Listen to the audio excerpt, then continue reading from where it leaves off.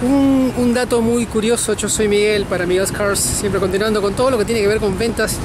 Pero algo que me llama poderosamente la atención es que siempre que he tenido, siempre que he tenido un cliente, una clienta, generalmente son mujeres, o vengan con el marido, con la pareja, o con la familia, lo que sea, solas, no importa, pero siempre que he tenido una clienta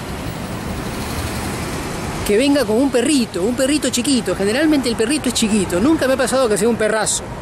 Un perrito chiquito siempre compran, siempre me han comprado. Es que, es que me sucede hace 6, 7 años. Siempre me han comprado. ¿Por qué será?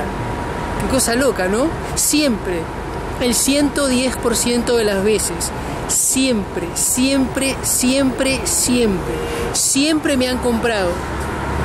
Bueno, y obviamente el perrito nunca se, se hizo la pila y nunca se me cagó, ¿ok? Vamos, sí, una vez sí. Yo estaba vendiendo una camioneta, una camioneta de pick-up. Y el perrito se le caga encima de la dueña, una mujer, una señora brasilera, brasilera, que se dedicaba a, horas de arte y necesitaba el, el pick-up truck para, para hacer los, este, el traslado de las pinturas, de las esculturas. Eso sucedió en la Ford en la Ford en el 2014, qué cosa loca, y me terminó comprando.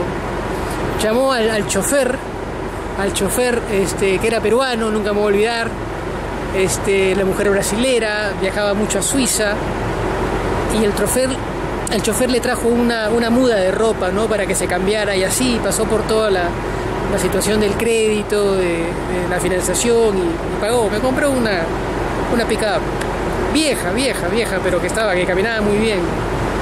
Pero siempre compran, siempre compran. Cuando veas un perrito, un perrito, una mascotita acompañando al cliente, a la clienta, te va a comprar loco. Yo soy Miguel para Amigos Cars, siempre continuando con todo lo que tiene que ver con ventas acá desde South Beach, Florida.